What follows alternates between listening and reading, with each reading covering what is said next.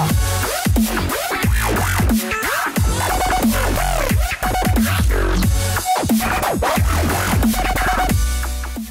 mừng các bạn quay trở lại với điểm tin game chiến thuật số thứ tư của GameUp.vn cùng điểm danh những đầu game thể loại này xuất hiện trong tuần qua nhé. Sau một thời gian làm mưa làm gió trên thị trường iOS, cuối cùng siêu phẩm Warhammer của Mega Spellful đã đánh tiếng trên Android. Tựa game là sự kết hợp đỉnh cao giữa phong cách nhập vai và chiến thuật sâu sắc, đem lại cho người chơi những trải nghiệm đặc biệt khác lạ.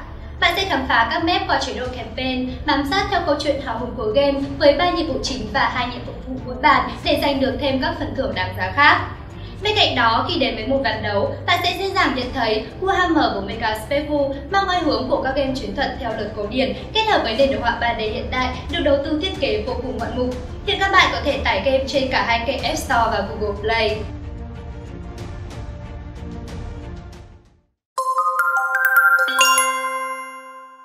Tự game đến từ nhà phát triển Team Corporation với cái tên The Onion Knight hứa hẹn sẽ phả lửa làm game vào cuối tháng 7 này. Được biết sẽ là sự pha trộn độc đáo giữa lối chơi Fear Runners và Castle Storm. Bởi vậy, The Onion Knights sẽ sở hữu những yếu tố đặc trưng của dòng game thủ thành nhưng cũng không bỏ qua các nhân vật anh hùng hỗ trợ cho chiến thuật đối phó với kẻ thù của mình. Theo các nhà phát triển, The Onion Knights sự hào mang cho mình gameplay đậm chất hành động, dữ dội tương tự như những gì game thủ được trải nghiệm trong Metal Slug. Trong khi đó thì vẫn nuôi dâng yếu tố chiến thuật phức tạp của dòng game thủ thành. Để biết thêm thông tin chi tiết, các bạn nhớ truy cập gamehub.vn nhé!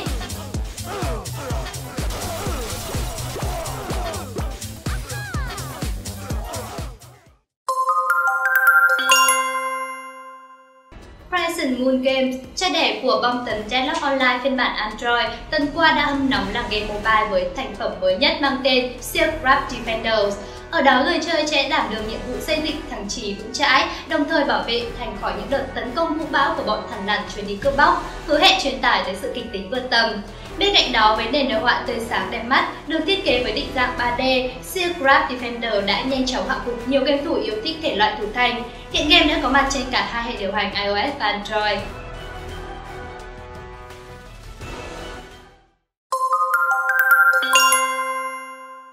Star Wars Commander là một tựa game chiến thuật khá thành công trên mobile, nay còn mang tham vọng cả thái hơn nữa vinh quang với phiên bản mở rộng Growing Conflict đã xuất hiện trong tuần này. Đúng như cái tên, nay game thủ không còn bị giới hạn bởi một hành tinh mà sẽ vươn mình đến toàn bộ vũ trụ bao la, song hành với những vị anh hùng nổi tiếng đã từng xuất hiện trên phim ảnh. Nhưng cứ điểm mới mà Gwyn Conflict mang tới còn trợ lực bởi một chế độ chơi cực kỳ quy mô trong PvP với hai bên Empire và Rebellion nhằm chiếm quyền kiểm soát hành tinh.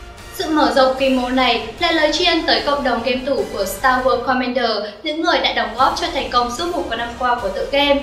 Và tin mừng dành cho fan của tựa game Star Wars Commander cũng đã chính thức khép lại chuyên mục điểm tin game thể loại chiến thuật số thứ tư tuần này.